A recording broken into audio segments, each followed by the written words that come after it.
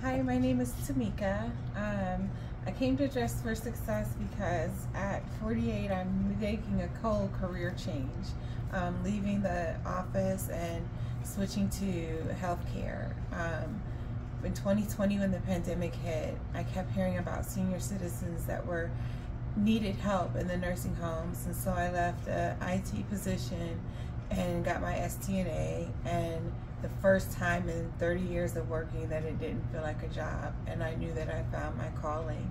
So um, I start nursing school in September, two more weeks or three more weeks and um, and then I want to stay and I work in geriatric psychiatry right now and I would like to become a geri psych nurse um, because they're the ones that need the most help.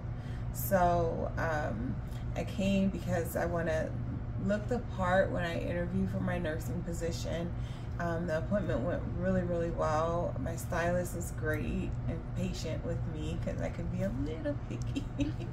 um, and the tools that I was shown on the computer, like I know I will use them because going into work full time and school full time, like the time management tools, the professional skills are definitely something that I would use on a daily basis because I struggle with time management now. So I'm very happy and blessed to have come to Dress for Success.